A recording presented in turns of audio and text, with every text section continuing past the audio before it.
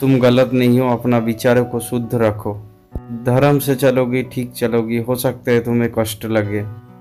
ऐसा लगे, भगवान हमको क्यों नहीं दे रहा है? जो मैं चाहूँ सुख, वैभव, धन, दौलत। देखो, सामने वाला गलत कर रहे फल फूल रहा है, धन, दौलत के मालिक है। फल फूल नहीं रहे हेलोजन की तरह जलेगा और फ्यूज हो जाएगा। तुम दीपक की तरह जलोगी और बराबर आनंद तुमको मिलते रहेगा।